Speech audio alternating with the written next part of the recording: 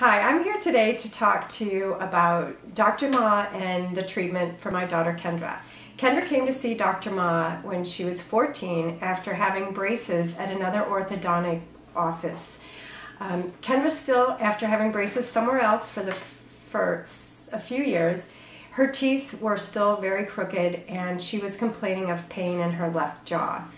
Dr. Ma took a look at Kendra and noticed that she had some clicking in her left side and that her left bite was very much off and her midline was off, also off center, not to mention that her teeth were still crooked. So under investigation, Dr. Ma decided to treat Kendra for TMJ, and which was also part of a degenerative bone tissue in her left side, and um, gave her Mago splint therapy after Kendra was treated with the Mago, she wore it for a few months, and um, Dr. Ma was able to confirm that her jaw was stabilized. And then we ended up um, putting braces on to fix the bite in her crooked teeth.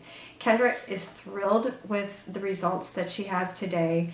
She no longer complains of clicking or the locked jaw that she experienced quite frequently and it's just fascinating that she can go through a complete orthodontic treatment and no one ever even looked at her jaw except Dr. Ma. That's the first thing that she looked at and was able to successfully fix Kendra's TMJ, fix her midline, and make her smile beautiful and what it is today. Kendra couldn't be more thrilled with the results, and nor can I.